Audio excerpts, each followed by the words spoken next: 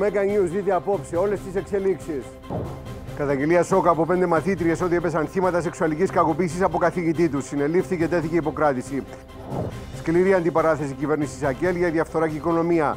Πυράκι από τον Μαυρογιάννη κατά του Προέδρου για Κυπριακό και νέα επίθεση DC κατά Χριστοδουλίδη.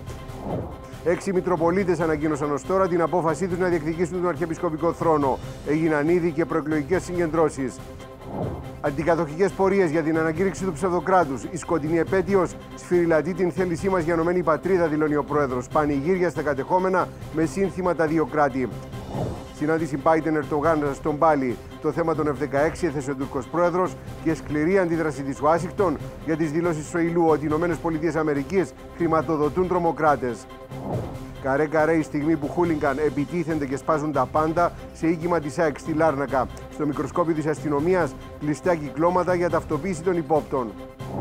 Στην αντεπίθεση ΑΕΚ χαρακτηρίζει κοινωνική πρόκληση την πρόθεση των υπαλλήλων της για απεργίες. Ανέστηλαν τις κινητοποίησεις τους γιατροί του Δημοσίου, δίνουν προθεσμία ένα μήνα στον Υπουργό Υγείας να βρει λύσεις στα προβλήματά τους. Απόψε στις 8 και 10.